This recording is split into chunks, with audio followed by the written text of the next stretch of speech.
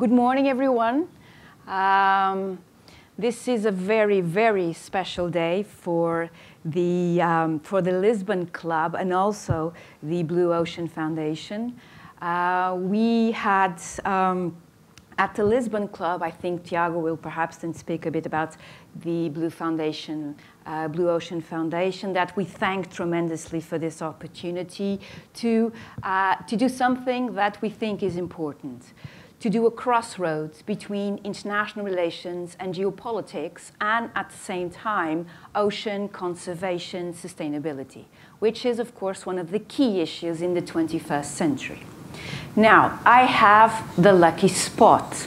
I will be moderating two world experts on these areas. I'm just putting the bar really high now. and um, I would like to start, first of all, by thanking you really all for coming because Lisbon is in chaos. So you've all made it, and we thank you tremendously for that. Now, uh, to my right, I have Paul Rose, one of the most Hi. experienced divers in the world, explorer, scientist, ocean specialist, having been involved in the discovery and the promotion, the awareness of such big challenges that we are now facing in one of the most, in some of the most remote regions in the world. He's also a known presenter in TV and radio. I know his work well. He was also vice president of the Royal Geographical Society and commander of the Rothera Research Station in Antarctica, where I think you stayed for 10 years. 10 years, yes. Yes, a decade. Whatsoever, as you can a see. A decade in the Antarctica. Now, I, I, strongly emphasize that you uh, go and see his website, paulrose.org. It's fascinating. When I went there, I was just bewildered with so much, so many activities, so much promotion of our the Azores, the traveling, all his main activities. My first reaction was, does this man sleep? and then I realized yes, because I met him yesterday, and he is one of the most energetic and positive persons I have ever met in my life. Secondly, um, and it's because it's always the details that make, that make the difference. Uh, one of the things that Paul does, and has nothing to do with oceans, is he's one of the, um, one of the ambassadors of Driven to Extremes charity, mm-hmm. which deals with soldiers, ex-soldiers that are injured and suffering from PTSD and need specialized treatment on their road to recovery. It's not all about doctors, hospitals, or medication. And PTSD has a huge impact on soldiers and their families and society. So that for me was like the cherry on top of the cake. Now, what I would like lastly to emphasize is Paul's willingness to be here with us. He arrived yesterday from Manchester and he has to leave here at 12.30 to catch a plane back to Manchester and then to South Korea. Yes. So as you can see, he, he is really very willingly to be here with us. So we now have a chance to uh, enjoy uh, his expertise. And so with all of this, Paul, the floor is yours. Great, thank you very much. Well, thank you, Raquel. Thank you, Tiago. And uh, thanks to all of you. And it, it is good to be here. And I've often wondered why I feel so at home in Lisbon and in Portugal. I never could work it out, but I've been here many times as a sailor and as a diver, and of course as a as a tourist. And then luckily, uh, last year I took a test at National Geographic. Uh, they have these very complex, high-level DNA tests and then they can take your DNA and send it off to all these laboratories. So it's slightly worrying that my DNA is hanging around in all these laboratories. Never know what's going And um, then they send you this report, a very detailed report as to where you come from. And I was, I flicked through all of the, uh, you know, the, the, the first pages because it's quite technical. And I got, I wanted to see the map. And me and my ancestors, when we left Africa, Eritrea, we went up north, and some people, as you know, go north over to you know Scandinavia, which I thought maybe that was me because I love the cold places. And then I, there's a big group that goes around into Asia, and then my arrow comes around um, into Europe, and lands in Portugal. I could barely believe it. So, so I was very happy. So, you know, I can hardly claim I'm Portuguese, but there is a reason I'm very happy to be home here. And the other thing that we won't talk, talk too much about is that when it, in the deep analysis, my partner laughed and noticed and was almost rolling around the floor with laughter when she discovered that I have an extraordinarily high amount of Neanderthal man in me. um, bigger than they've ever recorded, so I'm going to go back to do more tests, but it counts for the long arms and uh, the sore knuckles on the ground. But um, so I'm Paul Rose, and I'm trying to be Portuguese or at least Azorean, partly because the last expedition that, that I led with Emmanuel and the team was to the Azores. Uh, I lead something called uh, Pristine Seas expeditions from National Geographic. We've had 22 expeditions, been able to help create 17 marine protected areas, uh, which add up to over five and a half million square kilometres of protection.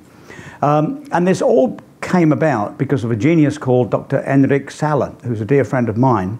He was a professor at Scripps in California, one of these young professors. You know, how can you be a professor at 34? But he was. And every science paper he did, every lesson he taught, every step in his academic career, he thought, he one day said, you know what? I'm writing the obituary of the ocean. He didn't feel that this greater knowledge, this greater awareness raising, this greater sense of understanding would ever get to protect the ocean. He was just writing the obituary. So at that time, um, he wasn't part of National Geographic, so I went to National Geographic, explained this, and started something called Pristine Seas with the idea that could he put a team together to go to the last wild places in the ocean. Why not protect them? There's all this awareness raising going on. There's all these science studies going on. There's all of these political battles that were beginning to form at that time. But why not somehow cut through all of that with a laser focus to protect the last wild, pristine places in the ocean? A bit like putting money in the bank, as we call it. You know, we, we put the ocean under a lot of stress. And if we keep removing stuff from the ocean and putting it under stress, something's going to happen. So let's put money in the bank, is how we word it. So he started Pristine Seas. Um, it's a beautiful project because it's the, one of the only projects I know that has the ability and the resources and the will to do all of the political work and reconnaissance work and understanding a long time before the expedition takes place. So many field science projects go, and you know, you know, who doesn't love that enthusiasm of just going on an expedition? We all love that, right? You know, I'm, I'm going to study butterflies in Mozambique because I love butterflies and I've got some Mozambican contacts and I'm off, you know. And then 20 years later, that person is still struggling to try and make a political difference. Whereas we, uh, with Enric's leadership and the resources of National Geographic, we really put a lot of effort into all of the political analysis, where the movers and influences might be, where the nudges might occur, and what changes need to happen well before we even go somewhere. And that includes sending people to these places. So then when we go, we know, ah, you know, something is likely to happen. Now, um, these expeditions are all over the place, you know, from Antarctica to the Russian Arctic to all the warm places in between. And a great example is the Azores expedition this year. It came because, very fortunately, in the Selvagens, two years ago, three years ago, to do the Selvagens, I led that expedition, and a, and a name appeared on my email, Emmanuel Gonçalves, and, and he was our local man, expert. So we worked together for five minutes and discovered that we're going to do a lot more. And we had a great expedition in the Selvagens. Um, and then this led to the Azores. So we didn't have to do much on our side from National Geographic to make the Azores happen, except, you know, it really opened my eyes that we have to, to you know, to use the term, there really is Hawaii in Europe. Mm-hmm. You know, it really is, does exist. And you know, you know, what next? Well, we've done the science, we've made the film, we've made all the contacts, we've told everybody all about it, and now it sits with the political process and the diplomatic leadership and business leadership to to actually get the Azores signed in as a as a as a large scale global leading marine protected area. And on the surface of it, it couldn't be simpler because I've never seen such an you know opportunistic and opportunity with the ocean right now. It's, it's a hugely optimistic time. I mean, who would have thought we'd see the day where you've got the UK government have an official Twitter account and it's called UK Blue Belt, and they pop up on my Twitter every day with news about the UK waters and the UK overseas territories. And yesterday they announced the UK government that they're going to protect 30% of our waters by 2030. And that, to me, feels like global leadership. And yet, my colleagues in, in government would admit that five years ago they never would have foreseen that. That on Twitter you would be announcing big commitments. And these are global leading commitments. And all of us here, you know, we do attend these big international ocean conferences. And in the past years, it's almost become a competition where global leaders will stand and say, we are going to protect 10% of this, or we have established this MPA of this size, and someone else, well, we have established that. And they, that sense of healthy competition exists about the ocean. Who would have thought it? I mean, when I started diving in 1969, I was energized by the fact that we didn't know anything about the ocean. I loved the thought that it was the, the largest, least protected, least understood ecosystem on the planet, and I was a little speck swimming around in it. That was exciting for me. But now I'm excited that as we begin to understand it, we realize that we have affected it negatively and there's a time for action right now. We really are at a tipping point, but we've got the tools to do it. We couldn't have had these commitments for large scale marine protected areas if we didn't have satellite surveillance. No one has money for a fleet of fisheries patrol vessels, you know, boots on decks as we call it, people driving around the ocean who can only see three or four miles away and on the radar chasing fast professional illegal fishing. But now we have satellite surveillance. And it works. I've seen it work. And it's, it's not difficult for uh, wealthy countries to have satellite surveillance. And it's also quite simple for developing countries or countries that don't quite have the money for the surveillance to be supported by others and big NGOs to get satellite surveillance. So this really works. We really can see what's going on. And then, only recently, we had something called the Port State Measures Agreement come in, and that um, is the thing that we've now got 52 or 53 countries signed up for it. Um, we used to think we would be lucky to get 20, and it means that this international law is the first time that there is a law specifically focused on illegal, unregulated, and unreported fishing, which means that a vessel, say a British vessel, could come into Portuguese waters that were protected. We would see it moving around, and perhaps they would turn off their AIS and any other instruments. They would move around thinking they weren't being seen, gather their fish or work alongside a, a bigger vessel for transferring vessels, yeah. and then drive all the way to, say, Valparaiso and try and sell the fish. Before it was impossible. Now we can see them doing it. We can analyze on uh, um, the uh, satellite surveillance, the movements they made at sea, whether they were conducive to long lining or being in support of another group of fishing vessels. We can tell when they get to Valparaiso and we can prosecute that ship. So this is revolutionary. And only uh, last week, I think it was, the UN has agreed to look at the high seas and within two years to come up with a new high seas agreement. Yeah. And with, you know, Tiago's background and, and a whole other group of smart uh, legal people, we're now in the business of having enforceable environmental law that is going to bring uh, people to justice for not looking after the planet first. So I'm massively excited about um, the ocean. I don't think we can all sit back and just let it happen. It's going to be great. We need to keep the, the pressure on and the focus on. But I believe that within my lifetime, for sure, we are going to see vast amounts of the ocean protecting and a new new way of thinking where it really is nature first and not nature happens to be the responsibility of someone else. It's nature first. And I think that's where we are. So I'm, you're right, I'm optimistic. Yes, you are. Thank, Thank you, you very much. Thank you.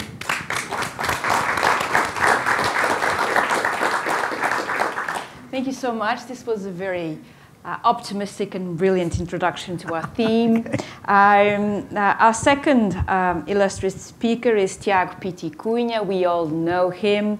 He has been working in the last two decades in the area of ocean policies, whilst uh, a legislator in the UN, in the government of Portugal, in the European Commission. Tiago has been the face that we usually uh, associate with not just the oceans in Portugal, but what the oceans means and can do for Portugal, and even in terms of our identity. He has promoted the, the strategic importance of maritime issues, which I think is one of the key points he will bring us, not only for Portugal, but also for Europe as a strategic actor, both in Lisbon and in Brussels. He also wrote this essay, Portugal and the Sea, uh, uh, from, um, from the collection of the Fundação Francisco Manuel de Santos. Um, it was just, it was, um, it's a very small essay like all of them, but it's a brilliant book that I strongly uh, encourage you all to read it. For me, it was very important because it enabled me to think about Portugal and the sea in a very, very structured way. Not just the past, not just the discoveries, not something distant, but something very present in our daily, daily lives. So Tiago, with this introduction, the floor is yours. Thank you very much, uh, Raquel. I'm really embarrassed uh, with uh, your introduction. I, uh, if you don't mind, I'll speak from here as uh, standing helps me uh, speaking. And, um, and I was going to say that I needed to retribute such kind words and say that we could not imagine a better chairperson for this debate as someone that is a professor of international relations mm -hmm. because the theme of the debate is really uh, indeed it's uh, ocean conservation but also uh, geopolitical uh, factors and uh, when we speak about geopolicy or geostrategy we are talking about international relations mm -hmm. um, but let me say as well in the beginning uh, how pleased we are the Oceano Azul Foundation for co-organizing this event with the, the Clube de Lisboa.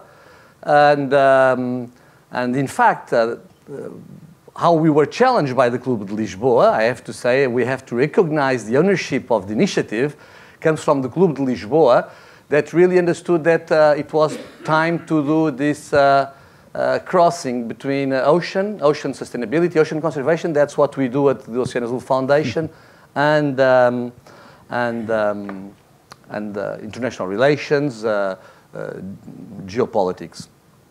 Of course, that in saying so, I should have a word of thanks to Ambassador Francisco Seixas da Costa, with whom I had the pleasure and the honor to have uh, worked in the United Nations under uh, his leadership when he was Perm Rep at the UN, uh, Portuguese UN mission. And um, Fernando Cardoso, who has been tirelessly organizing uh, this event with all our team. I see some of our uh, colleagues here, and I thank them very much as well for that. And uh, of course, the, then, um, uh, because uh, what you say, you said, Raquel, about Paul, uh, you made my life very easy on that, so I don't need to tell you about Paul. Raquel spoke, he spoke, so I only need to thank you very, very much you. for all your support, for all your working with the Oceano Azul Foundation, and also for coming uh, at this very tight schedule of yours uh, to Lisbon. Really, thank you, thank you very much. Thank you. Um, well, the main focus of um, this brief presentation will be to explain what is the connection between ocean conservation and geopolicy. Because I don't think that at first sight one will understand the connection.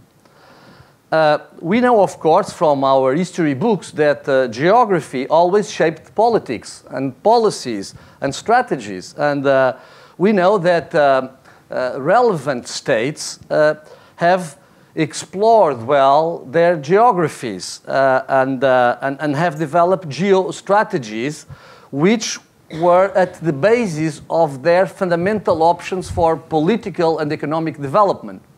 And of course, uh, in history, we can also uh, uh, look at examples. And the country from where Paul comes from, the UK, is one clear example of a country that understood the specificity of its geography and that has explored this specificity to its advantage on a very uh, sound basis, uh, to say the least, and for a long time.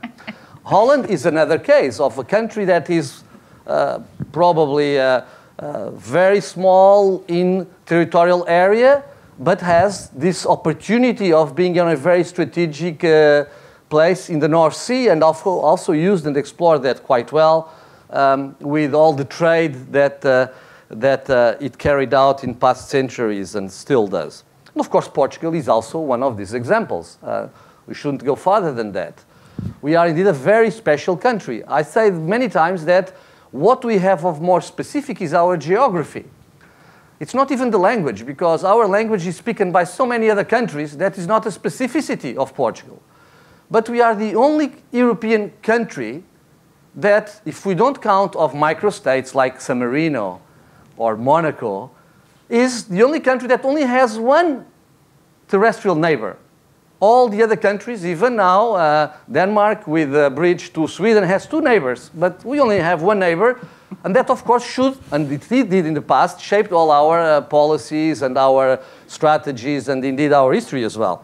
But, of course, geopolitical power in the past was found in armed fleets and in colonized territories. So, what does this have to do with ocean conservation?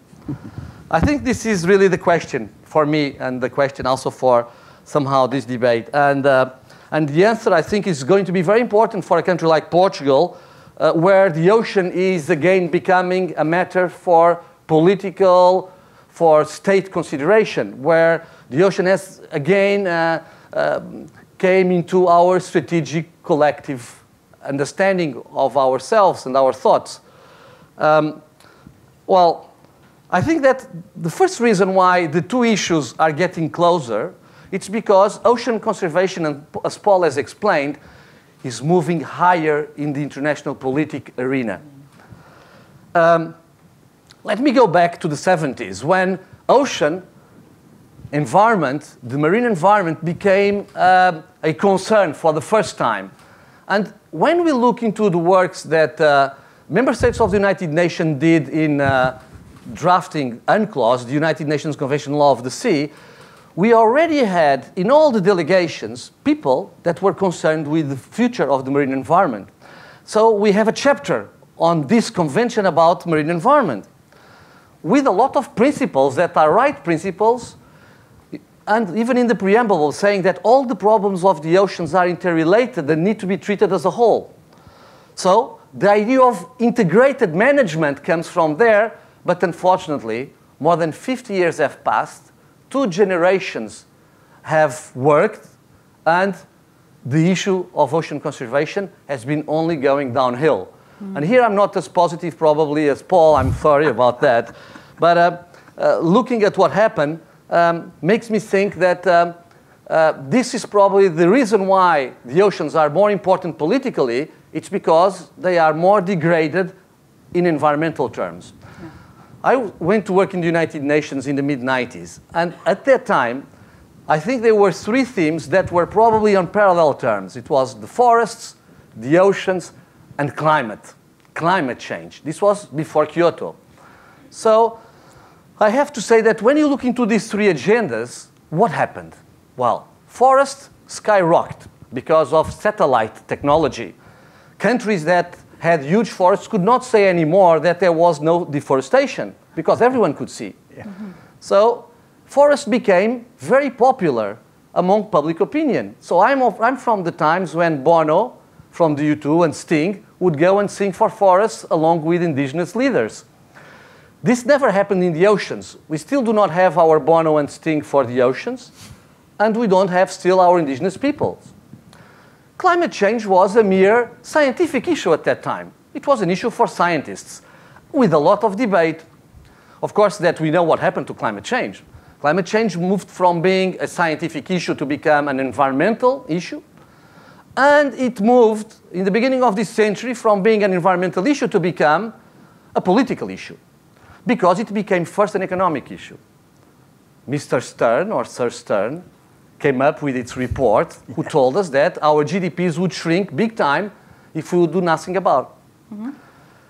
uh, and of course, I have no doubts that nowadays, climate change is not a political issue. It is the political issue of the 21st century. And that, we might have not have realized that as well, uh, yet, that is going to, in many ways, have more importance in our lives, in our societies, in our economies than we still can understand at this moment. So, where are ocean uh, conservation on this? Uh, we are not there yet, as I said, but the issue is growing up. And, uh, and why is it growing up? Unfortunately, for the bad reasons. It's growing up because in 2017 we had the reports of the massive destruction of coral reefs through the last El Nino. From 2015 2016, the Great Barrier Reef lost one third of its territorial area. It seems that because of climate change as well, and because of the ocean absorbing 90% of the excess heat produced by climate change and CO2 emissions and greenhouse emissions, we are killing our corals that have been around for more than four, 400 million years, years, so much before we do. And what is important to understand is that the impact of the disappearance of corals is going to have huge uh, repercussions for our uh, societies and our economies because although it's less than 1% of the area of the ocean, it's probably between 25 and 30% of the whole marine biodiversity that will disappear along with corals. Uh, then, of course, we had in these last years an unprecedented succession of hurricanes in the Atlantic and uh, typhoons in the Pacific. Mm-hmm. Last year was incredible. I forgot all the names of Maria, Jose, Irma, yes. all the names of the hurricanes that. Uh, what do the hurricanes do? They destroy the marine ecosystems around the islands, around coastal areas. They destroy the blue economy, the maritime economy of small island developing states and also coastal areas of large states like the US or Mexico. So they have huge impacts as well. And then, of course, a very important issue came up plastics. Yes. Because plastics has a very important human factor. We have been assisting to the degradation of fisheries, marine fisheries, for decades. But as long as we have something on our plate, we don't mind. If it's not tuna, it's salmon. If it's not salmon, will be uh, scabbard fish or whatever it is. But plastics, no. Plastics is another problem because plastics, they come back to haunt us because they go into the trophic chain the food chain of the ocean and they come back in our seafood, in our precious seafood. So we will be plastifying ourselves by throwing plastics into the ocean. And that became very sexy for the public opinion, for the press. So for all these reasons, we have much more political attention to the oceans. We had the UN Oceans Conference on Sustainable Development Goal 14 in 2017. And every state came to the podium and said what they are doing and are, they are planning to do to save the ocean. So there we go, it's becoming geopolitics. Uh, we, um, we at that time um, could see that pushing for ocean conservation now gives political gains in the international arena. So the things are getting together. And here, Portugal probably is one of the good examples that have understood this quite earlier. When Ambassador, um, Ambassador Francisco da Costa was perm rep in the United Nations, we organized ourselves a couple of uh, important elections because Portugal at that time had already an agenda for sustainable development. Our agenda was not for fishing more. Actually, I think it is even important to understand that Portugal for many years was regarded as a fishing country, a fishing state. So our image was very much the image of a brother of Spain, for instance, in fishing efforts. But what Portugal managed to do in the United Nations is to understand that sustainable development of the ocean should be the key, should be the priority, and should be our agenda. I think that this agenda has been paying off very well because there are many ocean countries, starting with the small island, small island developing mm -hmm. states, that indeed have looked at Portugal and at Portuguese leadership as an example and have also allied with us on other agendas of international relations that are not connected to the oceans, but that make the oceans becoming more a geopolitical issue. Uh, now Portugal has the organization of the 2020 UN Oceans Conference, the next one that is coming. And here there is an opportunity to shape the next decade for the oceans, mm -hmm. the decade from 20 to 30. So, of course, it is very important on geopolitical terms.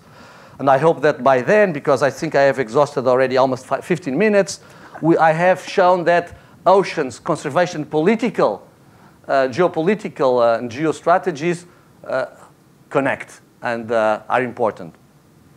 I even think that in the future this is going to be more so because the future of this century will be sustainable environment. If the 19th century was the century of the Industrial Revolution and of uh, capitalism and, um, and capital, and if we can think that at least in the Northern Hemisphere, the 20th century was the century of the welfare state, of the victory of political movements such as social democracy, uh, uh, Christian democracy, then this century will be the century of not social sustainability, but of environmental sustainability. Mm-hmm. Because we came to the conclusions that without the environmental sustainability, there will not be social sustainability or capital sustainability. Mm-hmm. So this is going to be more geopolitical even than now. Does this matter for Portugal? Of course it matters. I think that we have to say yes, and we have to say a resounding yes. And why? Because even for Portugal, this is more important. All this agenda fits completely in, into Portuguese national interests in what relates, relates to the ocean. Basically because Portugal does not have a very important manufactured maritime economy. We don't have a very capital intense industrial merchant fleet no. or uh, shipbuilding or other industries. But we are second to none in Europe in what relates to marine biodiversity with two marine large ecosystems, one in Iberia and the other one in Macaronesia including the Azores and Madeira. Mm -hmm. And the future of the blue economy will be very much the blue natural capital. So the nature capital, mm -hmm. the nature-based solutions for our fighting of climate change and our decarb actions. That's why I think that this is a win-win situation. So my last comment is, how should one develop an agenda for ocean conservation given that is so important and that might bring so many political gains? Well, of course, I'm not going to speak about the state and I'm not going to give lessons to any state or any country. But I can speak for the Oceano Azul Foundation. And here we think, and we've been putting that in practice, that for the foundation, the way to do this is through cooperation. It's basically through international cooperation. And this is what we've been doing with National Geographic Pristine Seas and this is an important part of our work. And, we, uh, and I should end up by again thanking you, Paul, for coming and for helping us with this cooperation because this is the way to go. Thank you very much and for having uh, paid attention.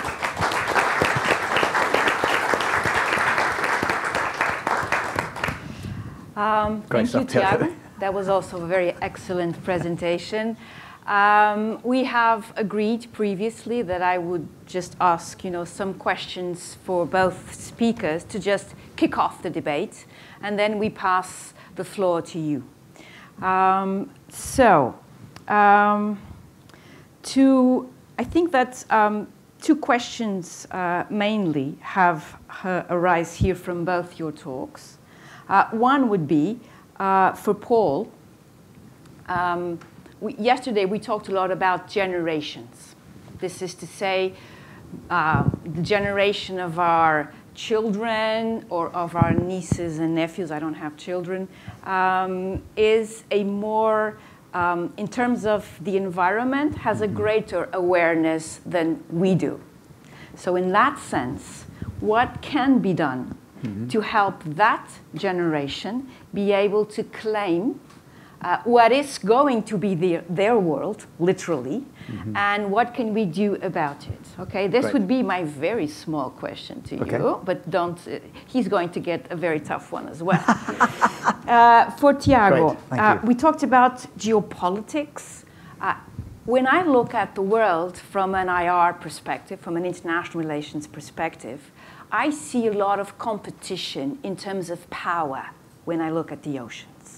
We have had a superpower that dominates the world, the United States. It has the best blue water navy that we, it's, it, it will be some time before the Chinese catch up. But precisely because of one of your points, because of the degradation of the oceans, ocean resources are becoming more, uh, they, they, they, they trigger greater competition. So in that sense, and taking into account all your diplomatic and many dimensions of work, do you see possible a cooperation at the level of the permanent five, mostly between the United States, Russia, and China? To my students, when we talk about, for instance, when in, within Asia, when we talk about Russia, which has a big Asian dimension, I usually joke with them and I say, you know, Russia must be the only country in the world that is praying for global warming because then it will have a big extension of its coastline and the North Pole defrozen. Okay? So, in that sense, do you see this coming? Because in terms of power, when we look at the world, we see this huge competition. It's about the assets, it's about the sustainability, but it's also about power. One of the great key points of your essay was precisely to point out so many empires, so many uh, societies that triumphed in the world. Precisely why? Because they had naval power. So as you see, it's a very easy question as well. Very easy. Paul, please. Well, thank you, and, and, thanks for the opportunity to speak about future generations. Um, I've got there's a number of things there. Firstly, to answer you, you know, Tiago, with why don't we have the Bono or the U2 or the Rolling Stones of the ocean? And it's partly because most political leaders and influencers um, for the ocean will have grown up uh, in cities or towns or anywhere, and they will have walked with their parents through parks, urban parks. They will have gone camping with their parents. They would have gone fishing from a bank in a river. They will have started to enjoy a sense of parkland and terrestrial beauty at a very young age. And then as they got older, maybe they would have been um, with, you know, youth groups or school groups or been with their family again and had these more sort of distant experiences and traveled, you know, traveled to beautiful forests. And, and, and unbeknownst to them, they will have learnt to like it and even love special mm. areas. So when they are in difficult decision making, now they are in a position of influence, they have an, something within them that connects them to beautiful terrestrial areas. You know, butterflies, you know, whatever it might be, beautiful trees, you know, massive redwoods. And what we need now is to think how do we get future leaders of the ocean and influence of the ocean to go in the sea? You know, so I remember three years ago, I think it was, I was in Brussels and I gave a talk in Parliament about, and it was slightly tongue in cheek, as we say, a slight joke. But I made the case that every school curriculum in Europe must have scuba diving in the curriculum because I felt it was the best way to learn about anything. You know, it was the best way to learn about physics, mathematics, physical performance, science. Let's get everybody diving. So, although it's impossible, there was a sense of why don't we take it as a big international social responsibility to get our young ones out in the sea early and often? in the mm. tide pools, get them out fishing, get them out diving, get them sailing, become more ocean people, become sea creatures. So that's something I think is beginning to happen. That's the first thing. Mm. You know, global leaders need to be divers, or at least part of it. And the second thing is a clear understanding of shifting baselines. Um, this shifting baselines is a, is a very powerful th- thought process that, that shows that if we're not careful, every single generation expects less and less from nature. Um, and this is where, you know, people, uh, let's say me, I remember doing a lot of fishing in the Florida Keys. And we used to get a lot of mahi-mahi and eat them, and it was easy fishing. And you'd see the pictures on the wall of people who were catching fish, and they were all, say, about this big. But then if you looked back at people that were there some years ago, the fish they were catching were absolutely massive, and there was lots of them. Equally very happy people standing there with a cold beer and a fishing rod covered in salt. Look what I caught. Then my pictures were exactly the same. And now when I look at those pictures of the Florida Keys, the fish are tiny.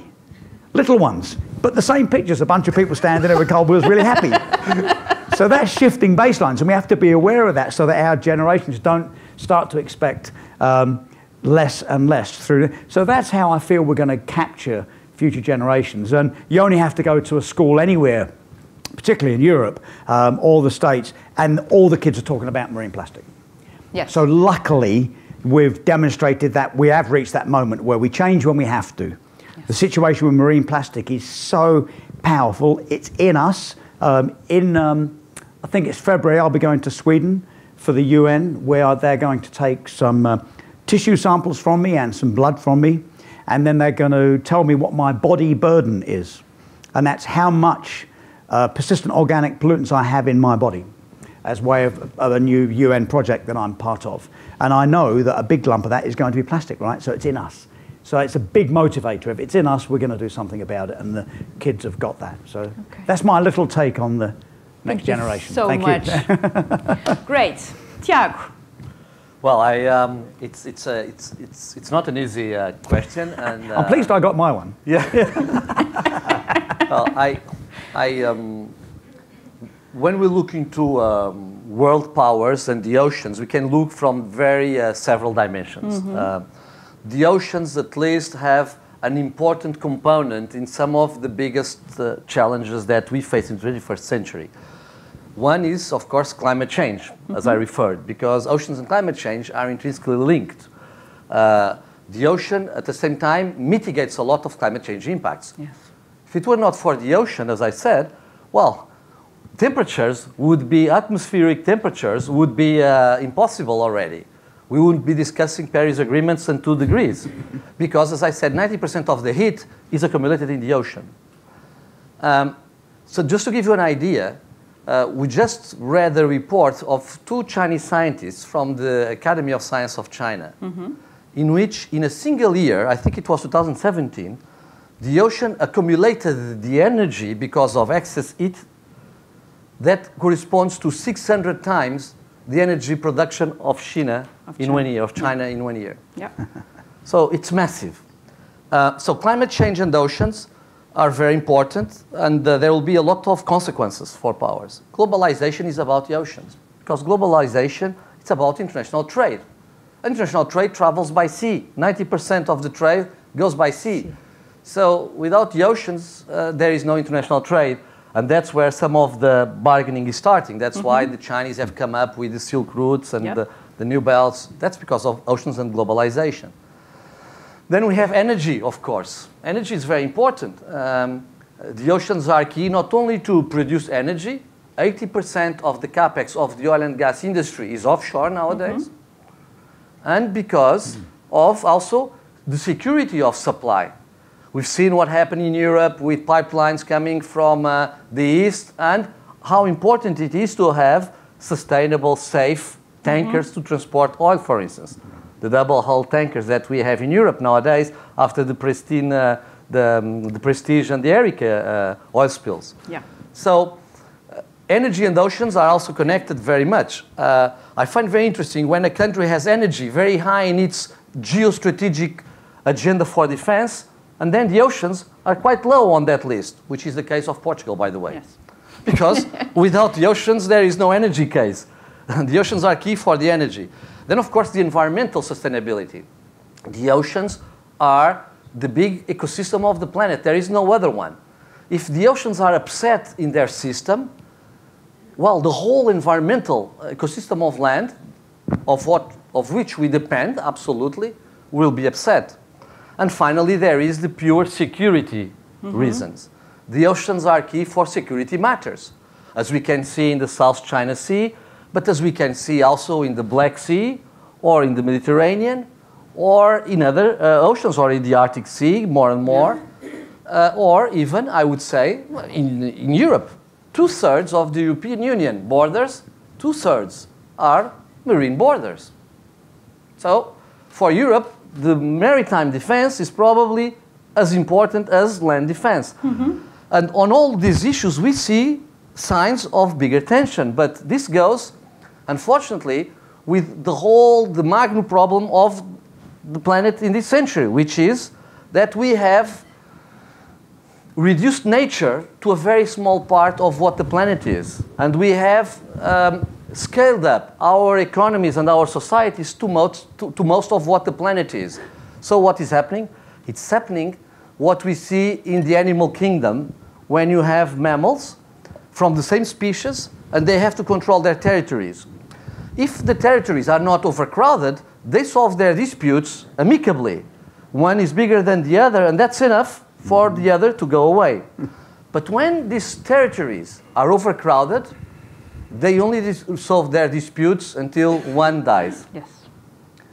And this is unfortunately the metaphor that one has probably to come about when we think about the oceans, the futures, and the dilapidation of, of our planet's uh, environmental, um, environmental uh, values. Uh, then I would say just one last thing, which is so that in the ocean, this is important, the powers are not exactly as they are on land.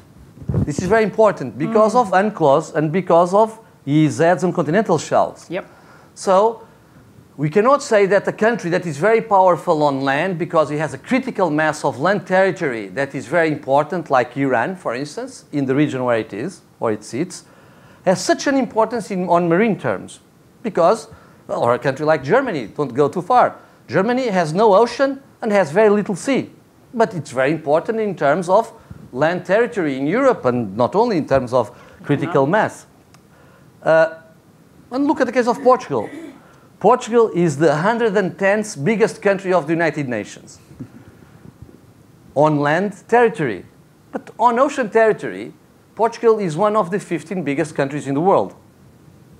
So that also, when we think about international relations and about powers, if we think in ocean terms, we should think on this way as well. Great. This is going to be important because if the future of our economies will be very much the bioeconomy and the environment, as I am sure it will, well, if you have a lot of biodiversity and a lot of environment, if you are a powerhouse for environmental values, you should keep them. You should protect them. You should invest on them. Thank you so much, Tiago. That was a very good answer to my tough question. Great. Now, um, we, we give the floor to the audience. I, I, I'll ask you to uh, just present yourselves and please, please, please, please make an effort to make a brief question so that we have enough time for everybody and because Paul really has to leave and catch the plane. Otherwise, he will not come back to Lisbon in, in, in, in, in this year at least. Okay? I see that lady there. Yes? Good morning. Good morning. Um, I am uh, Maria Amélia Martins Loução. I am the president of uh, uh, Portuguese Ecological Society. Um, I like very much uh, all these uh, topics, and um, I catch particularly uh, two words environmental sustain sustainability. That we know that it's very important, but in a way, and being uh, an ecologist, uh, it's a little bit strange uh, to put all these aspects because, in a way, men are here and we are increasing our population.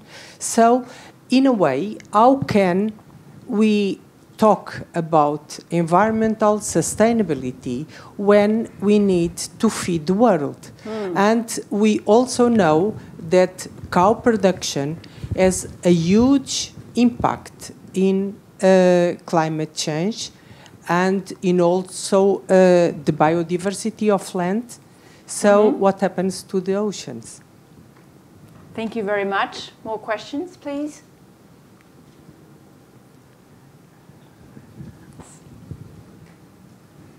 One more. Thank you. My name is Arnaldo. I come from Cabo Verde, mm -hmm.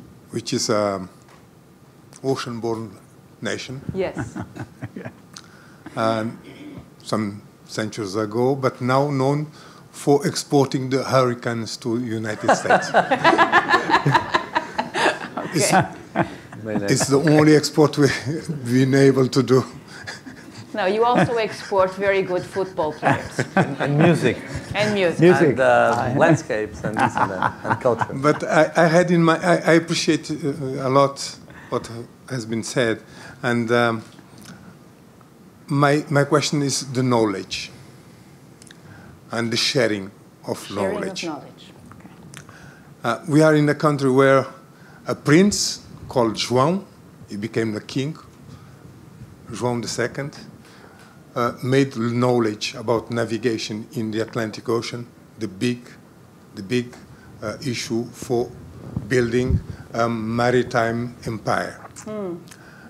And he knew after the death of the Henry Navigator that knowledge would be knowledge to, to know how to go and come back to Portugal would be the key issue for, the, for his time. And uh, I remember for, for, for my country, like, like uh, for example, the, the illegal, prevent the illegal fishing is a key issue for us. And having the, the knowledge is not an easy question. Okay.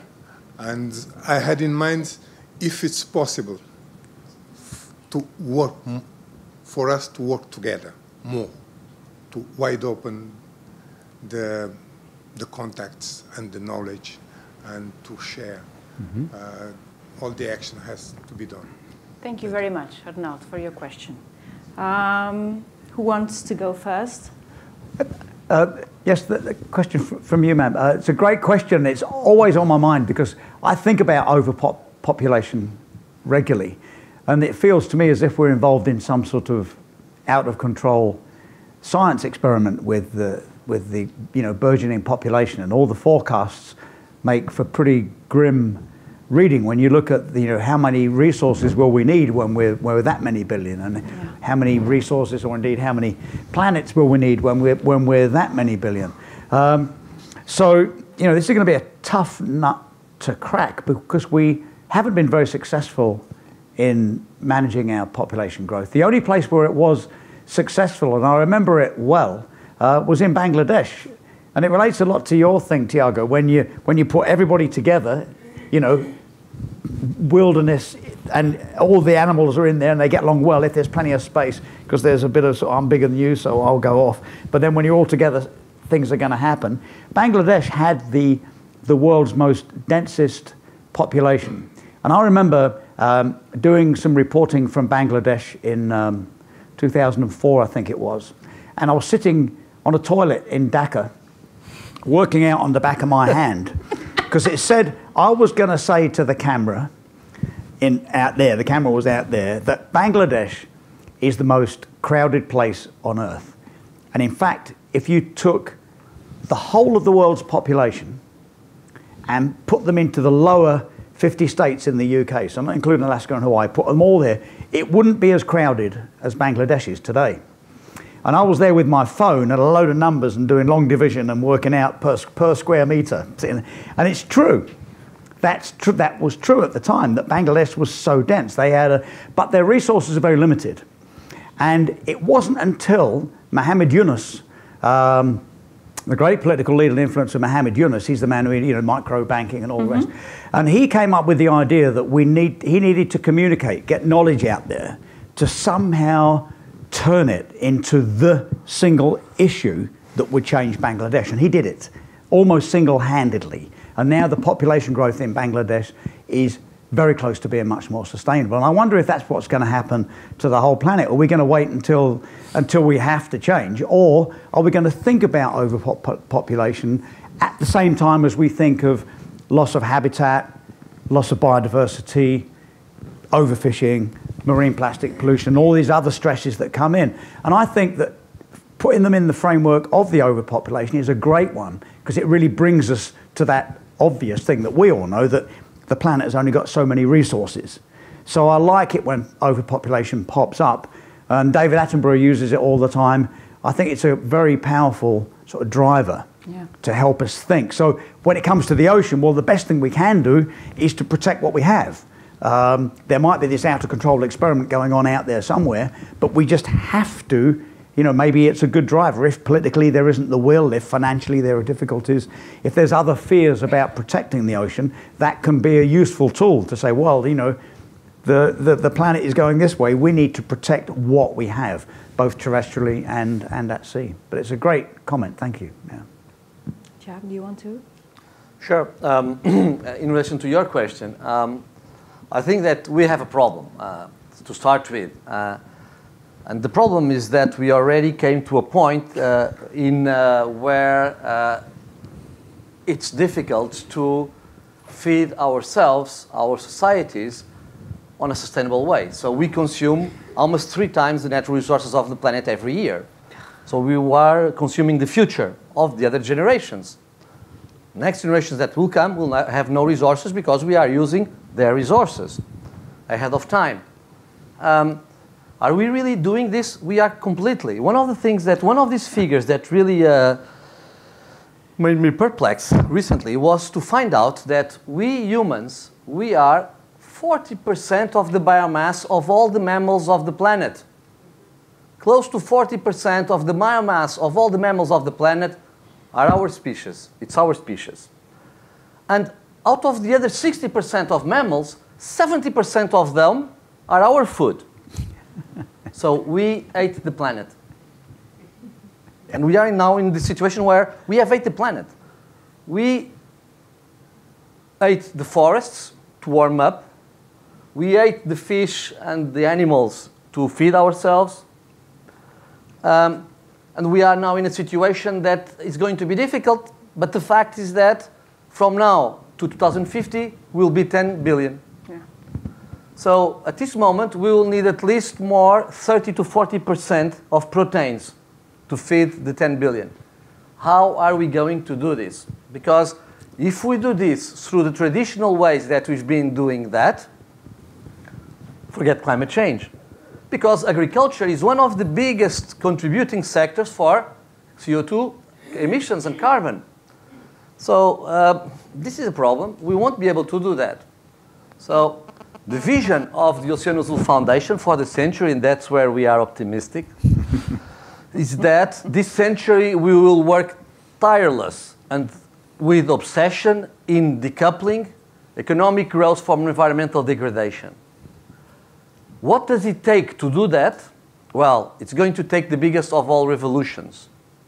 We will have to change our model of economic development, not the one we are developing since the Industrial Revolution, but the one that we are developing since the Agricultural Revolution.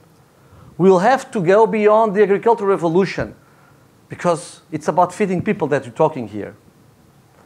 And I think that we have the technology, and if we have the willingness, the political vision, we will be able to do that in the century, like we were able to do other things before. But of course, that, that makes that, that little mammals that have no useful use for us, because they are not us or our food, will be critical. We will understand that to protect them is to save us. And I think that this is what is going to happen. And, uh, and the evolution is going in that sense. So uh, I don't think that we'll have so many cows around uh, in 10, 15 years as we have now. I don't think that we'll be eating uh, so much uh, meat. I think that we'll probably eat much more algae and much more of other products that do not require freshwater products, are not produced through agricultural means, but are probably produced other ways, either in our oceans or in our labs. And uh, that is going to be probably the step. But of course, that takes us too much into the future, and I want to answer then the second question. Maybe I yes, could just absolutely. go to the second question. Well, the answer to your question is exactly what I said or how I finished my introduction is international cooperation and cooperation. You are absolutely right. There is a huge inequity of uh, know-how in the world.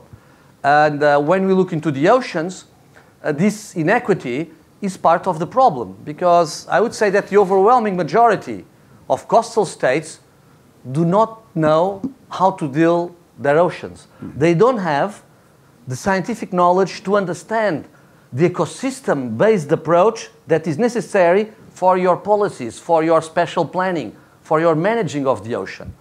Very few countries indeed have this, very few. Not, only, not all the countries of the European Union have them, by no means. So you really have to, to have this sharing of knowledge. This is called capacity building. How you do have to have this flow and you have to organize that, and there is no organization doing that at the moment, and you'll have to share that knowledge. But until then, you need to save what's left, as Paul said. Yeah. So you need to do marine protected areas. We need to buy time. We need to buy time to one day uh, being able to change our economic de- model of development. Uh, and until then, we have to, uh, to take draconian measures in saving what's left. And if I, if I may, yes, your question is a great one because when people first look at the way we understand geography or the way we understand international knowledge, there's a sense that if people are online, they know it all. It's almost as if they've been there and done it themselves. So your your comment is a great one because it reminds people unless you really understand mm-hmm. the front line, really go to Cape Verde, go there, do the work, see what see what the ocean is like, understand the field work that goes on in you, your country, you can't act on it. You, people need to be there and do it and see it. So I love that sort of comment. But you know, it also proves that it's not as easy to share knowledge as we think. You know, in my world, you think, well, it's easy. You know, we've got satellite satellite monitoring. You know, monitoring and, and the enforcement is easy because of these international laws and all these other great things that are going to happen. But it's got to the energy for understanding it and making a difference has got to happen in country you know, someone like you know, us three can't suddenly arrive there and make it happen. It's got to be the will within the country. Even in Portugal, I mean, the Azores won't be uh, protected until it happens within the Azorean government and the Portuguese government to make it happen. And so, you know, you outlined a great challenge, and I would say that the knowledge sharing, uh, although it appears easy these days, Yes. does take a big force of will from the country. You know, you hear about satellite monitoring and, and the fact, and I, I can take you to small islands that have a laptop and they're watching vessels in their area and they can report on it and track it. It gets reported back in France, back in Britain, but and back in the US, but they can see it actually happening.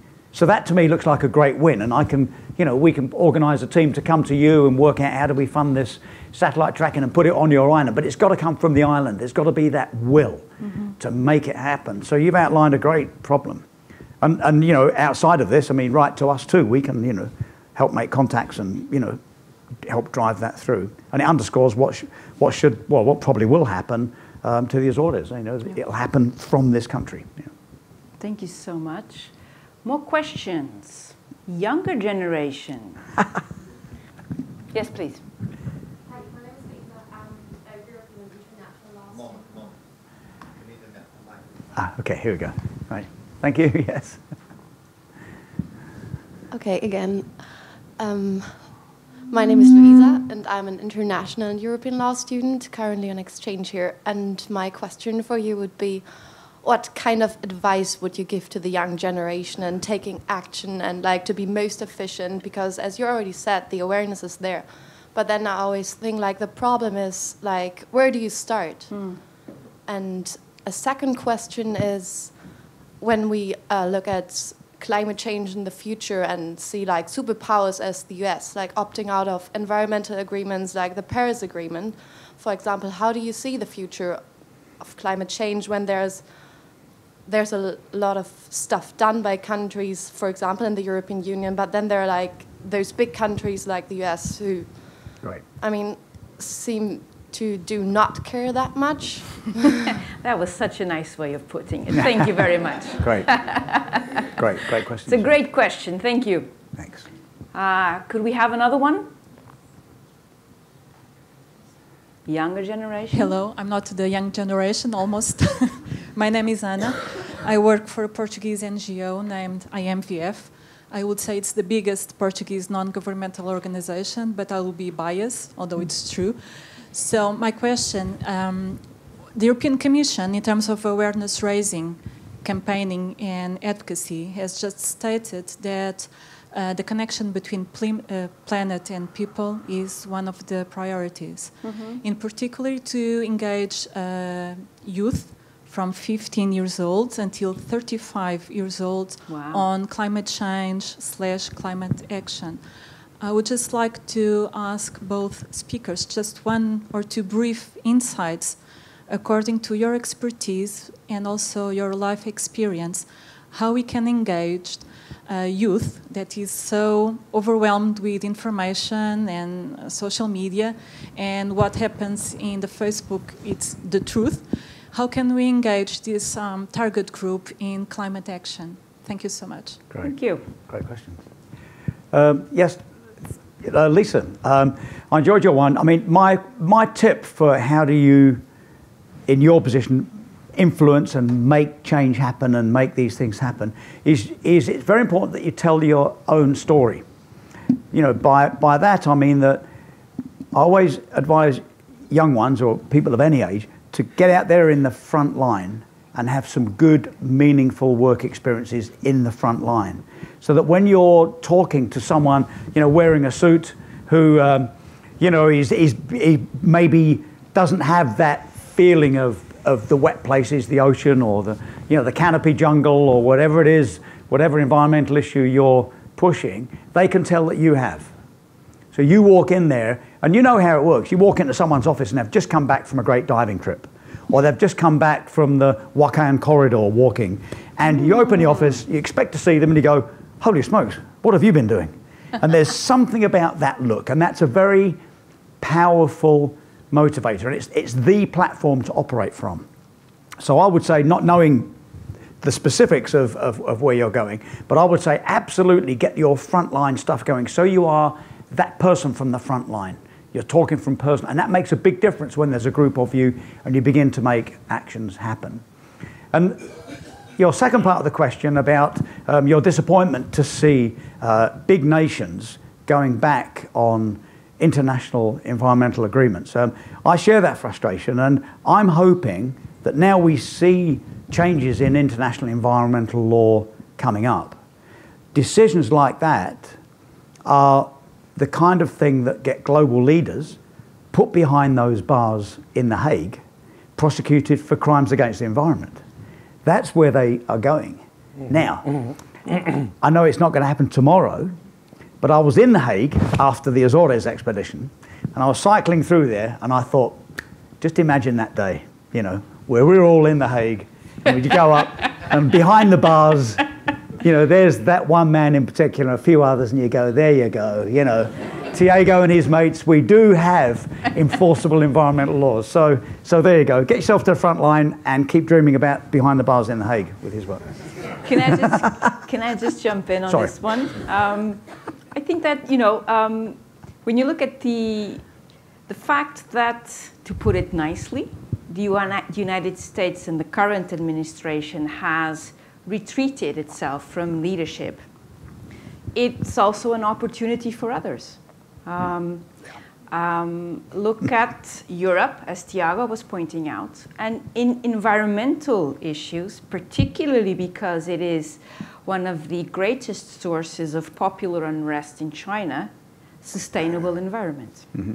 So, in that sense, uh, when you have a retreat from leadership, from the superpower we were all used to, I remember the Cold War, I remember the two Germanys, I remember the Soviet Union, and so forth. Uh, we were used to the United States providing that leadership. So maybe, I know it's not an easy, for Europe it's not easy at all, but it's probably a good opportunity for other strategic actors to rise. Environment is clearly one of them. Sorry. I, I would probably pick up on what you said, Raquel, and, uh, and say that um, what I said in my first answer about the powers of the Security Council, that on ocean matters, uh, there are other countries that can have a leadership, and I gave the example of Portugal. Um, this is the same for these kind of situations. If you look into climate change, one of the countries that is a giant for climate change leadership, it's Fiji. Yeah. Fiji was the president of COP23. And Fiji is doing a work that is unbelievable for a country that is a microstate. So, on environmental uh, arena, the, the size doesn't matter so much as it matters probably in other arenas. So I, I, I think that, uh, like Raquel said, there will be the opportunity for others to uh, emerge. And I think that very much the future of international relations will be even more shaped around, uh, around um, coalitions of the willing, uh, around uh, like-mindedness. Uh, that is going to be important, play a really important role mm. in the alliance of the future. And of course, then when I look, for instance, into Portugal international relations, I realize that we don't have any particular alliances for environmental matters or for this kind of matters. Never occurred to us because it was never a political issue. Yeah. But because it is becoming a political issue, we'll have to build these alliances in the future. And they might be built not with the traditional allies that we have, but with other allies. And of course, when it matters to the oceans, Norway is a clear case. For Portugal, for instance, within Europe. Having said that, you also spoke about the youth, and you and I also spoke about the youth. I was going to say that my uh, answer is, uh, has three points about uh, how to engage the youth, what can the youth does. There are three points. You can vote, you can buy, and you can post. Mm-hmm. this is uh, Thank you so much. this is great. I will be quoting this one. Yeah, yeah, very good. very good. More questions, please. Oh, the ah, younger good. generation good. is coming up. Okay. Hello, very good morning. My name is Chloe, and I have a question regarding the capacity building that you mentioned just before. I think answering this question. Um, my question is, or I have two in fact, is who should be sitting in the table when we negotiate a treaty regarding uh, the sustainable um, development environment? Who should be really because, for example, in my very, very small experience, uh, we talked about, we tried to negotiate a treaty for um, between Timor, uh, East Timor and Australia. Australia. Yeah. It was really, uh, it was so complicated technically, really. Uh, so we kind of were completely depending on people who actually knew what they were talking about mm. regarding the law of the sea. So the first question is who should be sitting on the table representing um, those countries really? Should they be lawyers? Should they be uh, scientists? Exactly. Yeah. And secondly, is there in the UNCLOS um, uh, a positive obligation to actually negotiate? I'm sure we have very clearly an obligation to not cause any harms with our um, activities, but is there for the countries, for the states, a positive obligation to actually engage in treaty making in order to prevent uh, or to mitigate the problems uh, that we're causing um, in the ocean. Okay, good, good, good question. Great and stuff. there was another one back there, and I have this one. Fossil name is Amelia, and I'm a student. And I wanted to know if uh, for Portugal is not it's uh, strategic and sustainable to fossil fuel um, exploration. In the, in the Portuguese coast. Fossil because, fuel exploration. Yes, because we talked about the strategic moment for Portugal to rise as, um, and to use its geography to, to rise. To rise again. We like to say it like this, to rise again. okay, two very good questions. Who would like to start? Uh, yes, great. I love the one about the who should be at the table.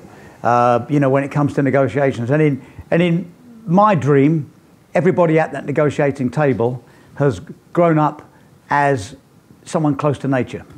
You know, they've had the, as I described, they've had the stuff of growing up in, in urban parks and traveling on to terrestrial stuff. They've become divers, they're fishermen, they're, they're sailors. They've got a connection with nature that is within them and can't be denied. So when the negotiations begin to make sense and it's all blindingly obvious, then that global leader, that influencer, she says, well, this is all making sense. We just have to do it. And then she ends up working out the legal side and all the other treaty side, but you've captured that individual or that group of individuals because they, they can see it makes sense. And then they go through the technicalities. The problem is, as you well described, when there's at the table, everybody is an expert on political process and the legal side of things, and yet probably none of them are fishermen or sailors or divers or climbers or walkers or canoers and all these other things. So I think although I, I often say it that, that we, we need to get young ones out there early and often engaged in uh, you know, physical engagement with the planet all the time, then I believe that it really is a big thing because then you won't be sitting with these uh, bureaucrats at these tables. You'll be sitting with people that use the bureaucracy as another step, but basically they love it, they know it and love it. So, and I think it's an interesting one about is there a requirement in UNCLOS for negotiation? I guess, is there? For negotiation about? Yeah, in, in, in the law, you mean? that it's a legal part? You know, I don't know. I always assumed it would be as part of the process. You may know more than, than, than we do. you know, we need to get you down. But it's a great. So to me, it's all about remembering these people have the authority and the power to make the decisions and make the agreements, but they have to mean it inside. They don't just have to be looking after their own interests, that they want to be elected again next year or they want a safe bet against a certain group of people. Um, they have to really mean it and love it and know it, you know. So that's the next, you know. And I think that also connected to, to, to, to your point is the issue of do you have the expertise? Do you have the knowledge? Because I think one of the things that clearly afflicts smaller country is brain drain, right? So in that sense, when you're negotiating with a bigger power or a country that has greater financial advantages in Yeah. being able to put Yeah. all of that in the table, that's when you have to call the specialists like Paul. Okay? And him. Tiago, please. Well, so um, on, on, on, on more this, um, this kind of representation, uh, legal uh, sitting at the table, that's clearly for me a question of governance, very much a question of governance. In this little essay, Little less. in uh, chapter six, it's about ocean governance. Yeah. And there, uh, this was already many years ago, I made my vision very clear. And my vision is that uh, we are still managing public affairs like Napoleon did. Because if you look into the Council of Ministers of Portugal or any continental European country nowadays, apart maybe from the environment, most of the other uh, areas, portfolios already existed at the time of Napoleon. And so we continue to look into our Right. public affairs on a very vertical, anthropocentric view. You know, it's justice for men, it's uh, the economy, so money for men, things like that. Uh, so we need totally, I think, in the future as well, to start working in different terms in governance ways. And so in the ocean, it's quite clear a case that demands, that cries for that horizontal governance, because the ocean has impacts in all different portfolios. It has an impact on the economics, so the Ministry for Economy, on energy, on tourism, on foreign office, uh, on international relations, therefore, on environment, uh, on fisheries, on transport, on transportation, shipping. So who is going to take care of it? And the fact is now is that it's very difficult because in many countries you have a minister for environment that wants to protect the ocean very much, and then you have a minister for fisheries that wants to protect the fishers. And this is what happened. So you go to a meeting uh, for fishers and quotas uh, in uh, the European Commission, and the Minister for Fisheries goes there and brings all the fish he can bring to the country. And then you have the Minister for Environment saying, no, we shouldn't, should preserve our biodiversity and our marine, blah, blah, blah. So, of course, there is a huge work that we need to do in civilization terms. The ocean has a blue part in different ministerial portfolios, and we will only be able to do this step once you'll have an integrated maritime policy and the government that realizes that all the different ministers of the different portfolios know, need to know their part in that uh, ocean uh, policy, in that ocean area. So the Minister for Transports needs to know what to do about marine transport because I cannot remove maritime transport from the other modes of transport like it's done.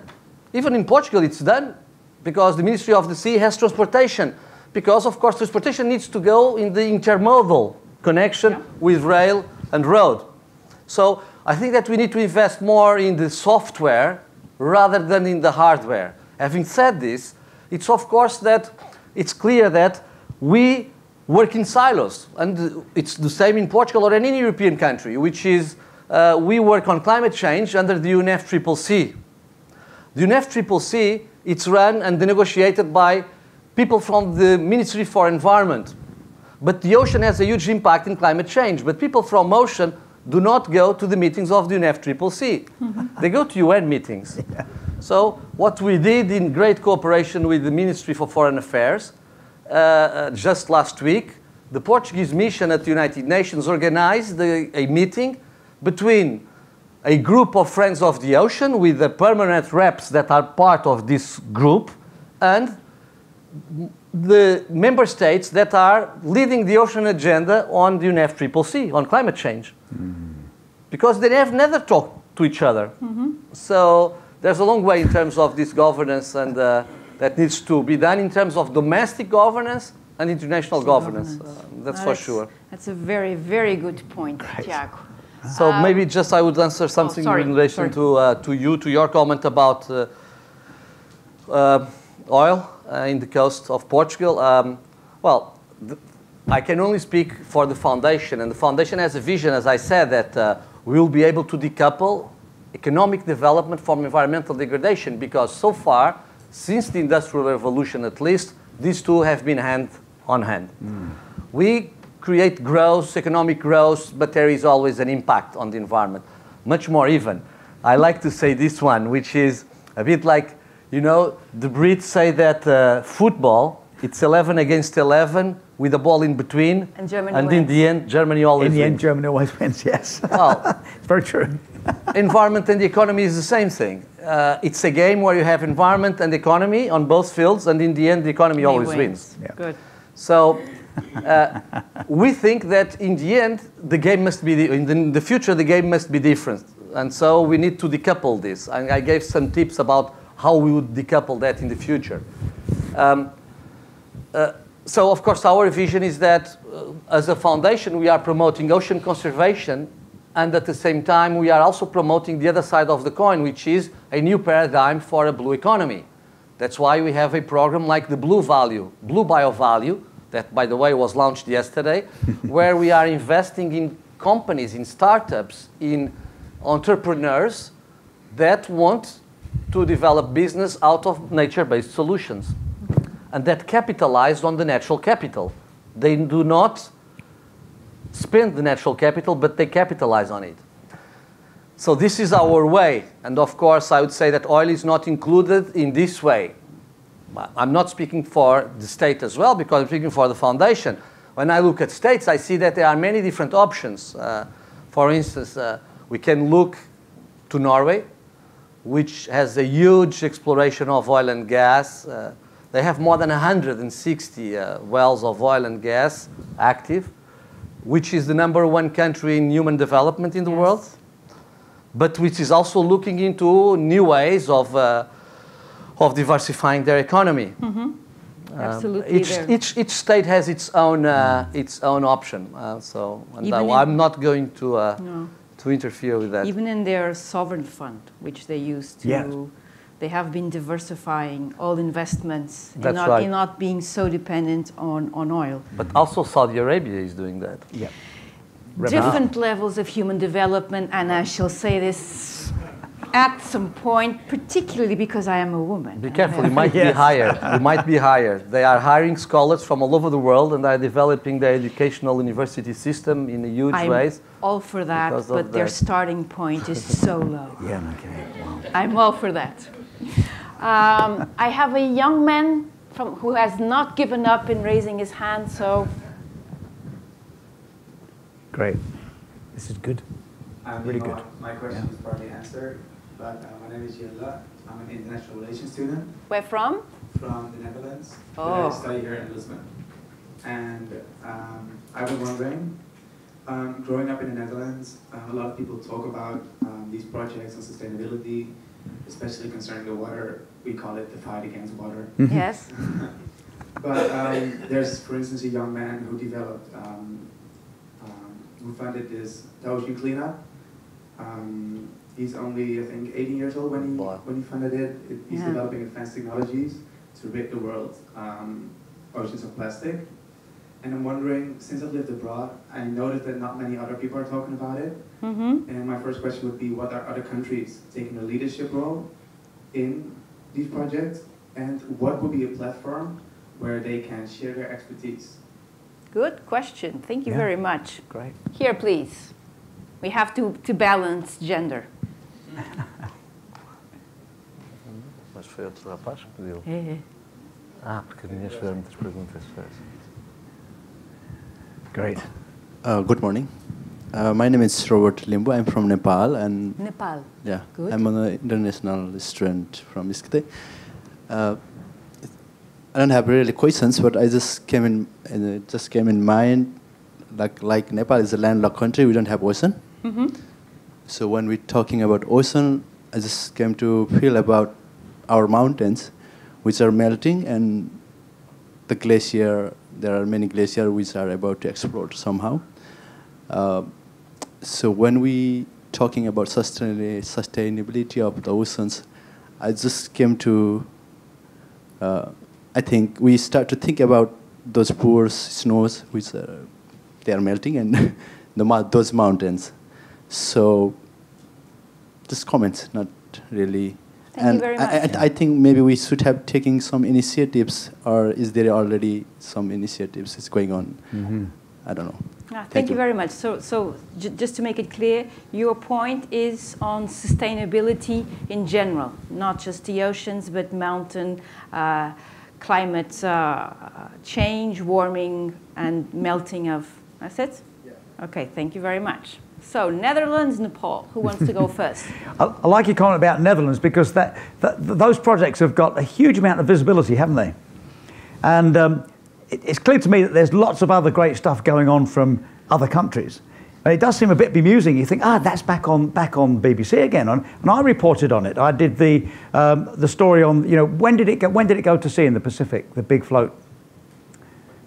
Yeah, that's right. And and I remember doing some reporting on it for BBC, and uh, and it and you, you just assume, well, I assumed at the time we'd see loads more, all sort of, you know, using that moment, but we haven't, and it's still a, you know, it's still seems to be that that seems to be holding the limelight better than other projects. So I expect that this sort of project leadership acts as a good beacon and a good example of what can be done to other people. Hmm. We just maybe don't hear about it so much because people get. Sometimes journalists are lazy. We have an ocean story. Oh, what was that one that we did last month? Ah, yeah, and they replay it, and people get it, and then they realise that perhaps your colleagues are great um, interviewees on the subject and make a phone call. It's a nice, easy piece of journalism. But once something gets the public's imagination and the media's imagination, it sticks, doesn't it? You know. So I think there is a huge amount of technological advances and leadership and innovations and fabulous ideas coming internationally for ocean sustainability. But uh, but it brings the point that sometimes we just don't hear about them. Seems crazy. Yeah. Good. I would probably. Uh, I, I, I think I think very much the same. I think that it is an incredible example of how one person can make a difference. Yes. So that case of Boyan in the Netherlands, of that uh, come up with the idea of recovering plastic from the surface of the Pacific Ocean. By the way, I think that the testing now is going on. Uh, in San Francisco about this, so it's Yeah. kicking off this Yeah. project after I think more than 18 million fundraising. Uh, it's a great project, and I was very elliptic when I answered that uh, the way to act is to vote to a shop or to buy and to post. Post. Uh, uh, but one person can really make a difference. It's amazing. This is a clear case of that. I, um, I think that uh, in a way uh, nowadays I, I, I'm very also optimistic in relation to new generations. I have to say because when you look into millennials, they are very different already from my generation. My generation is the worst of all generations. But absolutely, you know, I grew up in the 80s and uh, graduated in the beginning of the 90s. And at that, my generation's time, the paradigm for a youth, a younger in, uh, in Europe would be to become a yuppie. Yes. Yuppie. yuppie would be a rich banker and accumulate money and have a very successful career. Huh? Yeah. Remember London? Uh, Certainly do. Holy 1990? smokes. Yuppie. Yes. And uh, everyone wanted to do that. So no one had any goals or any visions or any ideals, but to get rich. And I think that we did that in our generation. Not get rich, but, but not having ideals. And Uh-huh. uh, we contributed a lot because we knew already of the problem, contrary probably to the previous generation. We knew and we did nothing. Yeah. Yeah. And we did nothing. Your generation is different because I think that you already feel that you need to do something because this is going to be your upbringing and the, the future. And, uh, and so that's why I think that uh, the relationship with nature that your generation has is very different from ours. That's m- much more people are vegetarian because they respect nature. They respect themselves, but they also respect nature. They respect animals. They think that they should do different. And I think that is even an instinct of survival that we have in our Yeah. genetic code Yeah. uh, Yeah. as a species that will make this change. But one thing is clear we will completely change our relationship with nature during this century. We will fundamentally understand that you are not above nature and that we'll be part of it. That we are not the Homo Deus of Harari book, Yes. as we spoke Yes. uh, because we'll start suffering the consequences. We are already doing that. And that is uh, true for the Netherlands and sea level rising or for Nepal and uh, glacier uh, melting. Not going to be difference because we have affected the whole system of land by now. And so uh, it's not different. You don't have safe havens, I'm afraid. Uh, there are places that are more severely hit than others, but you don't have safe havens. So action is to be carried out throughout the planet. Right. Yeah, um, yesterday when we were talking about this, and I think that the key word was, I think it was you who said it, it's humble. Yes. We need to be humble. We need to stop being so arrogant and looking at nature as something that we command and can exhaust at all times. Mm-hmm. We need to be humble. But, but you know, we have a fundamental cultural problem to do that. Yes. Because all our existence since at, since at least 6,000 years ago, 60,000 years ago, mm-hmm. is a fight, a struggle against nature. Yes. We were very small. 60,000 years ago, we were less than 1 million people in the planet. So it was the opposite of what I said. When I said we ate the planet, it's because we are 7 billion. When we were 1 million, nature was overwhelming. That's why we still think that nature is for free, because at that time it was overwhelming, it was endless. Mm-hmm. We could not do anything that would probably, possibly impact on nature. So it was for free. The problem is that in our mind, nature is still an enemy to a point. Cold, heat, uh, rain, uh, wind, uh, animals. And at the same time, we, um, we, we look at it as something that is still as meaningless as this glass of water. If you look into our legal systems and the way we consider nature, nature in our legal systems, nature in the civil law legal system of Europe is considered a thing. Yes. Article 202 of the Portuguese Civil Code. So nature is not considered a value. It's mm-hmm. considered a thing. It's not considered an asset. Mm-hmm. Also for a traditional economist, nature doesn't value anything.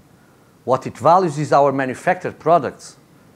So you see the long way that you'll have to go culturally To be humble. be stripped of this humbleness, to be stripped of this arrogance. It's going to be a long, long way. Okay. Good man. I think we have time for one more question. There was a lady there, somewhere there, that I think has given up. You have given up? no more questions? No people with other views? Yes, thank you.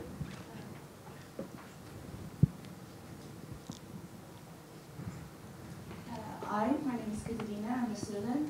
Um, my question is, uh, we've been talking about uh, the younger generations, but as uh, Tiago said, the younger generations are more prone to awareness in the, in the recent years. But how do we, as a younger generation, approach the older generation The more experienced generation will get you a get better feedback. Uh, who isn't as educated uh, in this matter? I don't mean the, the ones who are, as you said, sitting at the table, but for example, the fishermen and, uh, for example, our parents and our grandparents who don't seem to understand what is happening to, to our planet. Thank you. Thank you for your question. Great. Paul, this one is definitely for you. Yeah, for sure. Um, well, I think, um, again, it's, as I said earlier, it's about getting out there yourself and having, you know, meaningful experiences to, to gather your opinion as to what's going on. So let's just say it's climate change or it's overfishing or, you know, loss of habitat. You need to be out there and have seen it for yourself because I find it much easier when I'm reviewing a grant application um, for an expedition if that person really has been there and knows it and does it. Um, that carries a lot more weight and influence and, and respect from, from my team if we go, well, she's, she's been there, she's studied it, she lives it, she knows it, than perhaps someone who comes in with, uh, on the face of it, a more beautiful application and even showing up with a designer suit and all these other things, and this person's an expert at going for grants. But we realize that this person has got all their knowledge from the internet or academic study. And all of a sudden, we lose interest. Yeah. So when you are trying to influence, um, you know, uh, parents, fishermen, other people who have done this for many, many years, maybe even for generations, one has to be very careful how we approach. And the safe ground is that when I was six, I was swimming here and seeing loads of fish.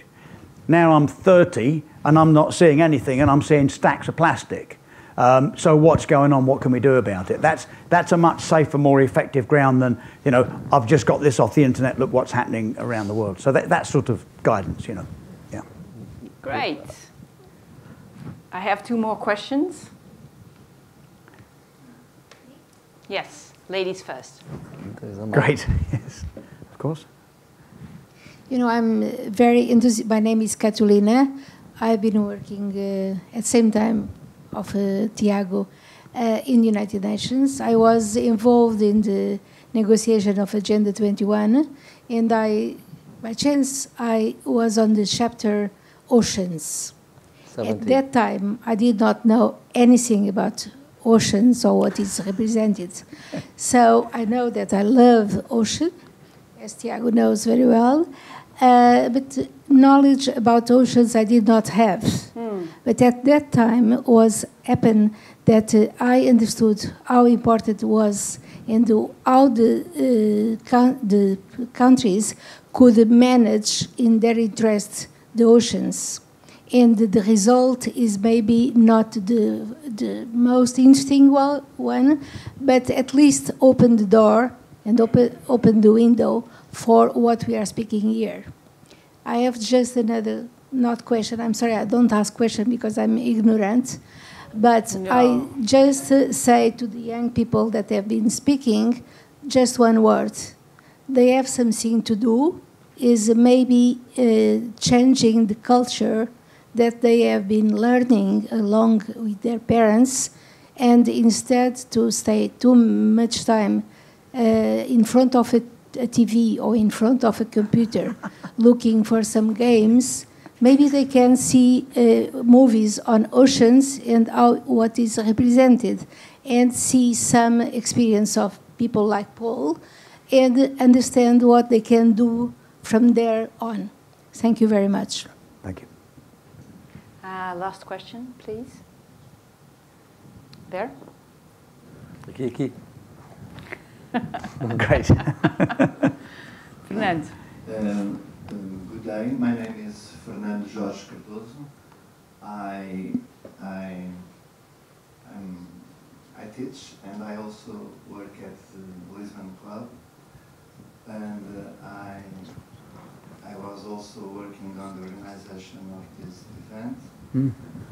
Um, I have uh, one point before uh, putting the point.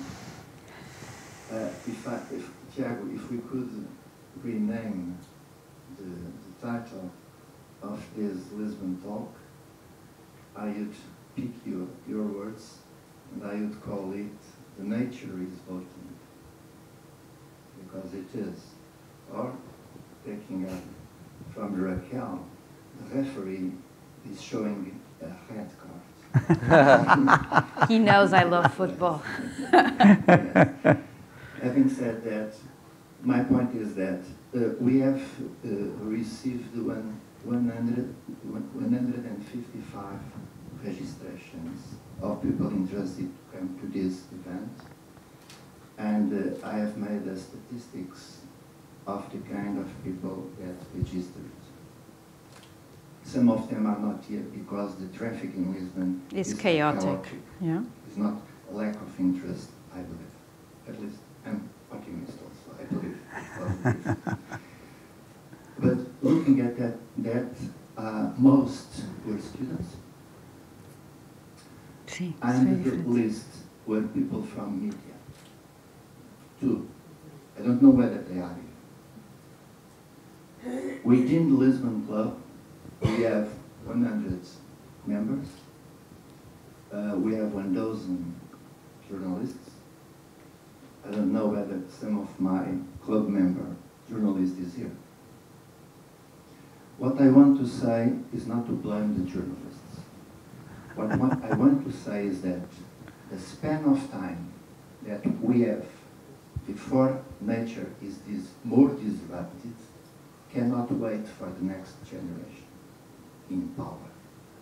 It has to be this, yours, probably mine, generation that is in power now, that has really to change behavior. And the media has a very important uh, point and task in this. Mm. Because when we read in Portugal, newspapers listen to the radio and see TV, usually what is there are, of course, uh, diversion. But when we listen about news, the news are about um, political struggles, crimes, and domestic sins, and a little of violence and sex sometimes. Global challenges, those challenges that affect us are not present in the media. So my point is, for us, all of us, younger and less younger, okay, is that we do not have time to wait for better people or other people to come and rule, to come and notice. They have to be those that are there. And our point is that, I pick up what you said, really what we have is to vote and to boo. okay? This is not really a question, but was something that I felt compelled To to, say. say. And just a little joke. You said, ladies first. Coming from Africa, we usually say, ladies first, but men before. And I could go on about commenting on the situation in Africa, but I will not do that. now, I think we had these really two great comments. I don't know. I don't. I don't know if you have something to say. Um, that you would like to say. On, on the media, for sure. I mean, you know, I work in the media, and, and you're absolutely right. We have a lot to answer for on this. And I sometimes jump out of my skin where on page five of a newspaper, it says there's water on Mars. Yeah, exactly. You know, and you go, why is that on, and it's this big on page five. And on page two, it's some horrible soap Oh, opera, yeah. television news or something. So yes, I agree with the media. I think we can do a lot better uh, the way we manage our, our affairs in the media, absolutely. Um, so, but thanks for your comments, thank you. I, I wanted to make a final comment, and it's very much about also for the the younger crowd that is uh, attending this. This it's for all, but I think that there has been a lot of questions from from you about what can we do, how can we act, and I don't think that it is for me to tell you how you should act because you act on even different ways that my generation did. So I won't be able to give you a good advice, but I think that you will understand. It's going to be an intuition that will come to you and you will act as you think that is fit and you'll find out that very well. I think that important to understand is that there is a process and we need first we need the information. That's why we need the media because without information there is no awareness. But with information, we might become aware, but aware is not enough. And I think that at this moment in our societies, even in Europe, we are at the level of awareness. But you need to move from awareness to conscience. And conscience is another step forward. It's when you are conscient that then you are able to be mobilized to causes. And mobilized is not enough because mobilized has to end up with action. So there are processes here and steps, but I think that, uh, as uh, you said, Fernando, the younger generation will not be able to wait for the older one to keep doing business as usual, and they will act. They will act because it's on their interest. Thank you very much for coming. Thank you. Good. Thank now, before we end, I'm going to take some liberty and uh, some liberties here. I would like to end this wonderful debate with two world-class experts on these matters. Really, I, I'm so I'm. I was so happy when at the board I was chosen to moderate this debate. You wouldn't believe it. I want to end with a quotation from the Green Book that Tiago uh, has put in his essay. Blue book. Oh no, green book. The ah. green Ah, the book. green. The green of the European Commission. And it was for me something absolutely, um, I was dumbfounded that you could find almost poetry in something written by the European Commission. okay? So I hope I do it justice. The European citizens have grown with the stories of the great explorers that have enabled us to understand that the earth is round and that have taught us to know the exact location of the continents. Many of them enjoy their holidays by the seaside in the midst of the busy fishing ports, tasting seafood in restaurants, and spending by the seaside their walks uh, avoiding the splash of the waves. Some spend their hours observing the colonies of sea uh, birds or the whales or waiting for the fish to bite. Others spend their free times restoring or navigating in old boats made of wood. This is my husband's dream. Others still like to watch the documentaries about the dolphins or the penguins in television or in the movies. Some will work in all these activities, others will be fishermen, others will be port captains, others will work in tourism in all these seaside cities. But how many of them actually are aware and conscious that all these activities are interconnected? How many have the conscience that they are citizens of a Europe that has a sea? Thank you very much for coming. Thank you. Very good.